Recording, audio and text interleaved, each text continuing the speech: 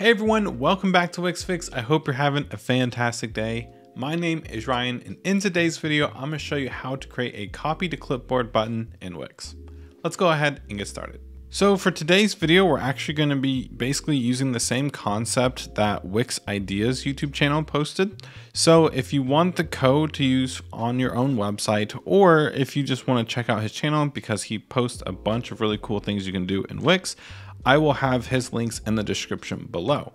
But let's just go ahead and pretend like this text element right here is text that we want to copy. And then this button right here, let's just pretend when we press this button, we want to copy this text from up here. So let's go ahead and get started.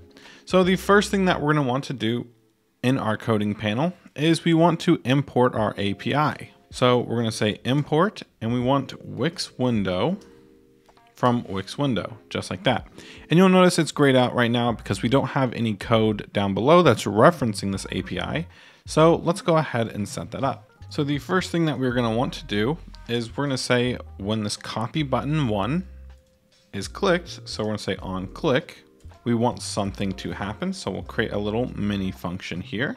Inside of this, let's go ahead and create a variable. This first variable is going to be for this text element. So we're gonna say let text message equal, and we want it to equal the text to copy text, basically. So we're gonna grab the text to copy element, and then we're gonna say dot text. So basically what that's gonna say is text message is gonna equal this element and what the element says in the text right there.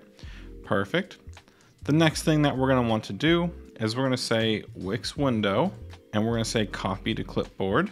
And what we want to copy is the text message, just like that, because we just created this variable that is basically the value of this text element. And then underneath that, so we're gonna say then, we're gonna create another little mini function here. We want to kind of disable the button. So we'll go ahead and say dollar sign $W, copy button one, and we'll say disable. And then we also kind of want to change the label of copy button one. So once again, we'll say copy button one. We'll say dot label is going to equal to copied. So if we go ahead and press preview on this website and I go ahead and press copy text, you'll notice it disabled the button and the label of the button says copied. And if I come over to a new tab and paste it in, you'll see the text that we just copied from our website is now in my little search bar right here. So it worked perfectly. However, let's say this text changes from time to time, so we don't want this button to just stay disabled. So what we now need to do is actually come down below here, and we're gonna create a new function. We're gonna say return to default, and it's gonna be a function. Now inside this function, what we want to say is if, and we're gonna say dollar sign $W copy button one is disabled, then we're gonna want something to happen. So we're gonna say set timeout. And for this little timeout right here, let's do 1000, which is basically just one second. But after this one second, what do we want to happen? We want the button to basically be enabled. So let's go ahead and create copy button one. We'll enable it. And then we also want to change the label back. So what we're gonna do is say dollar sign $W, copy button one, label is gonna equal to copy text.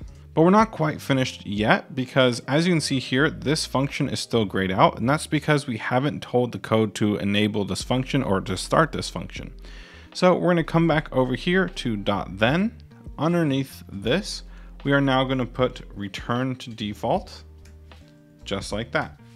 So now if we go ahead and press preview here, and we just copy the text, after one second, it will go back to its original state. Perfect. But let's say we don't have a text element. What if instead we actually have a input? And instead of let text message equal the text element, what we can now do instead is say input one. And instead of dot text, we can say dot value. So now if we go ahead and press preview on this website and we can say subscribe to Wixfix and I go ahead and press copy, you'll notice that it goes back to copy text after one second. And if I open up a new tab and paste in what I copied, you'll see it says subscribe to Wixfix. So there are different ways to do this and you can use a text element, you can use an input field. Um, it really doesn't matter as long as you can get the value or text from a specific element, you can basically copy it to your clipboard. But that's basically gonna wrap it up for today's quick little video. If you all did enjoy, please consider giving this video a like and subscribing to the channel for more Wix and EditorX content coming out really soon.